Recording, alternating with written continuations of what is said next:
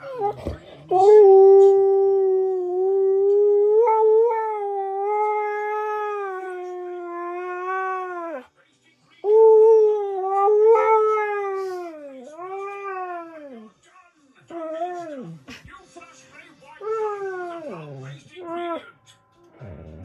know. Strong protection,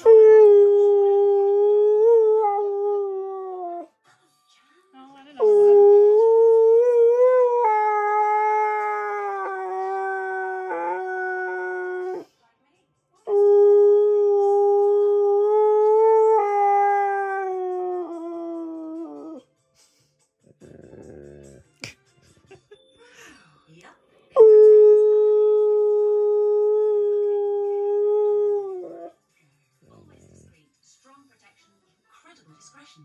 1944 and the largest seaborne invasion force ever assembled.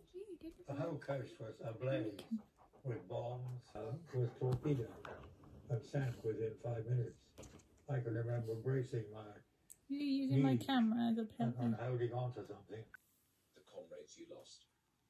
No, it's it's always it's always with you. As we head He's hanging, He's he's, fine. he's sliding off the arm of the chair. You are a fool. I'm stopping you from falling. If I let go, you're going to fall. You're standing on all my hats. If I let go, you're going to fall off the back. There, see? I told you you're going to fall. Will you put your Just leave butt... his bum there, Mum. He'll catch it. He's more top heavy. It's hanging right over. He's fine. You're a fool.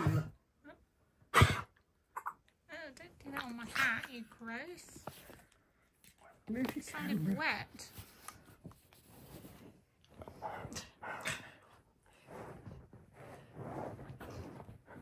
Right. He's not happy with you.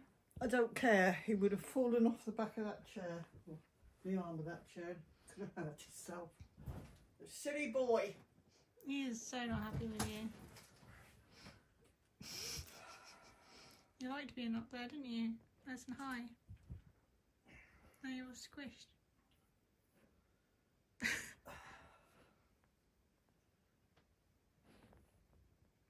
Fine. you gonna put in a complaint?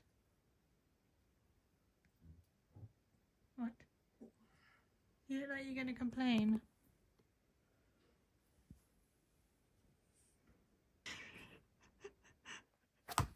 You put yourself there.